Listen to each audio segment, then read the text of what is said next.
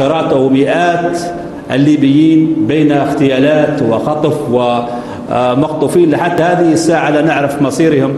فقدنا مئات الليبيين في عمليات إرهابية داخل ليبيا يقومون بها ليبيين وأجانب بدعوى الجهاد وبدعوى الإسلام والإسلام منهم براء حقيقة.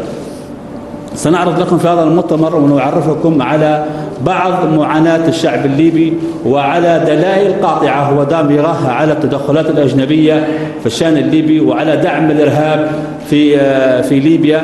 أولا نعرفكم على في ليبيا نحن من نقاتل؟ نحن نقاتل في ليبيا أربع تشكيلات إرهابية رئيسية وهي تنظيم داعش الذي بدأ الآن يندثر وبدأ الآن في الهروب من ليبيا. تنظيم القاعدة المتمثل في الجماعة الإسلامية الليبية المقاتلة وفي أنصار الشريعة وكتائب مسلم وجيش الإسلامي وجيش التوحيد وغيرها من المسميات.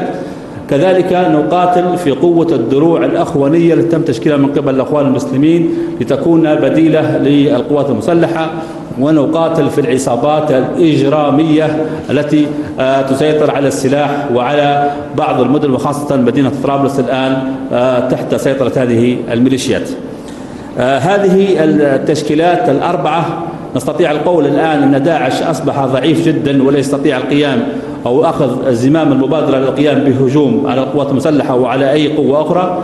كذلك آه الآن في مدينة بنغازي وفي المنطقة الشرقية بالكامل منطقة برقة وفي منطقة فزان المنطقة الجنوبية بالكامل.